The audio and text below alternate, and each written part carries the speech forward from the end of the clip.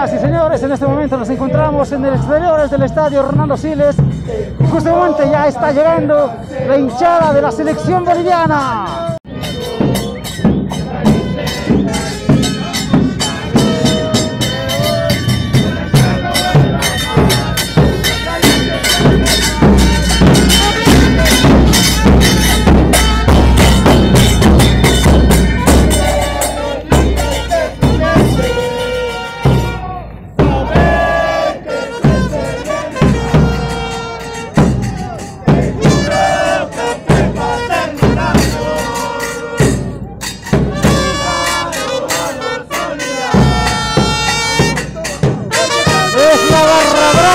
Selección boliviana de fútbol. Ahí se van incluyendo más hinchas que están presentes en este momento en exteriores del Hernando Siles de la ciudad de La Paz.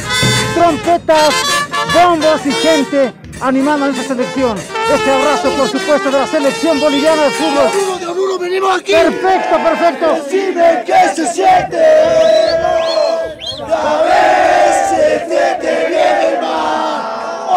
Aquí presente. En Chile cagando a los chilenos.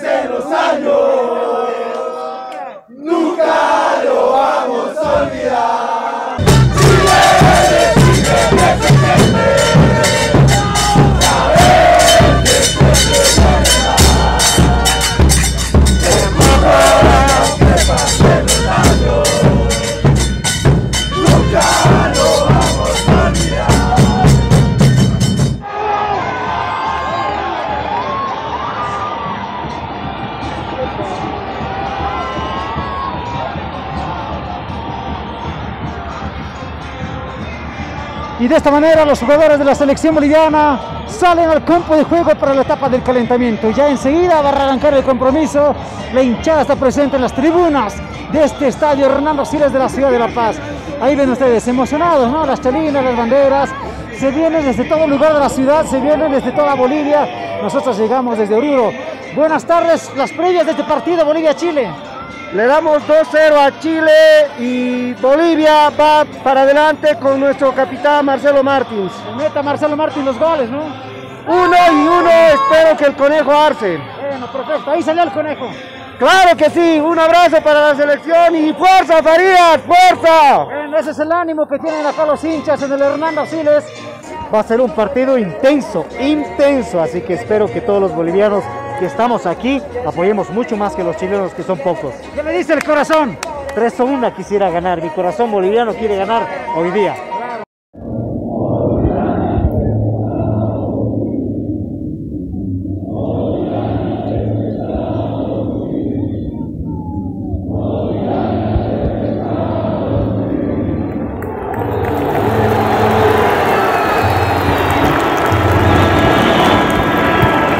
Bueno, finalizado el partido nos encontramos con los familiares del jugador orureño Erwin Saavedra. Bueno, pues muy buenas tardes. Viniendo a ver a tu hijo. Sí, prácticamente llega a ser un- uno de sus últimos partidos aquí en La Paz. Eh, bueno, ya lo, único que se le, se le presenta ya a Erwin es pensar ¿no? hacia en, en el equipo donde va a jugar a partir de, de los próximos días. ¿no? Y ¿Qué análisis tienes del partido? yo creo que tal vez el, el hecho que la cancha obviamente juega para los dos, pero no se ha visto un juego tan fluido como que tal vez eh, todos hubiéramos querido, ¿no? Porque quizás el- el- la cancha ha jugado más a favor de, de Chile porque ha sido más práctico y se prestaba para tal vez un poco retardar el juego, ¿no? Y Bolivia no ha podido tal vez tener eh, un poquito más de contundencia, más que todo en el segundo tiempo, donde por ahí los dos palos también ha- han hecho de que el marcador se eh, mantenga en empate, ¿no? Y bueno, con dos contragolpes bien elaborados de, de parte de Chile, pues han, han sacado ventaja. ¿Te gustó el planteamiento de César Farías?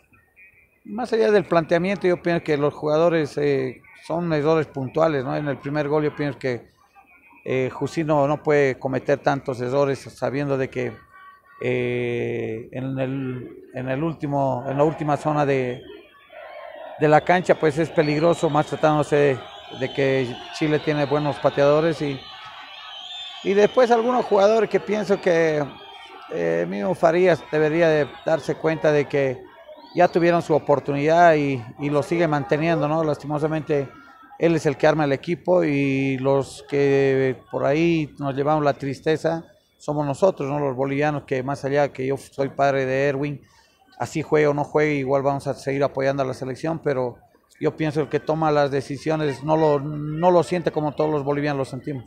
Eh, viendo las redes sociales, muchos anuncian eh, que César Farías debe dejar la selección boliviana. ¿Qué comentario le merece usted que es una persona de fútbol?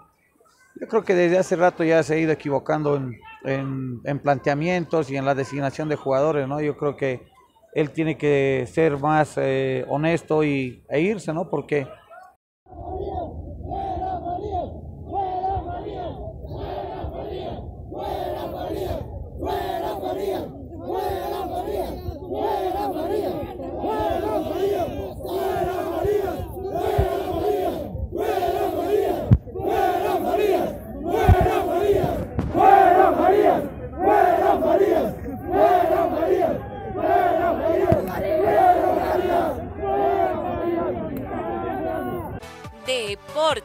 Con Bladio Blanco.